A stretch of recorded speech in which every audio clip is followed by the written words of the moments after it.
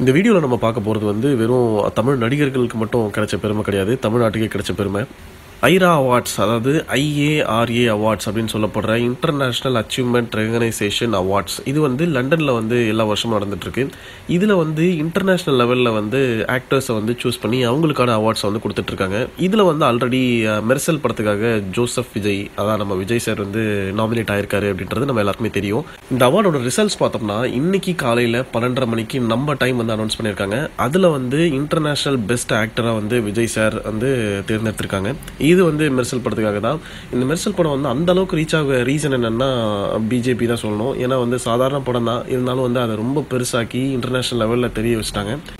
எது எப்படியோ நம்ம தளபதியை வந்து பெஸ்ட் இன்டர்நேஷ்னல் ஆக்டர் அப்படின்ற அவார்டு வாங்க வச்சிட்டாங்க. இதை கேட்கவே ரொம்ப சந்தோஷமா இருக்கு.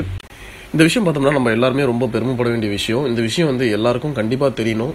நீங்கள் இந்த வீடியோ வந்து உங்கள் ஃப்ரெண்ட்ஸ் சர்க்கிளில் ஷேர் பண்ணுங்கள் இந்த வீடியோவை லைக் பண்ணுங்கள் நீங்கள் இன்னும் நம்ம சேனலை சப்ஸ்கிரைப் பண்ணலன்னா சப்ஸ்கிரைப் பண்ணுங்கள் அடுத்த வீடியோவில் பார்க்கலாம்.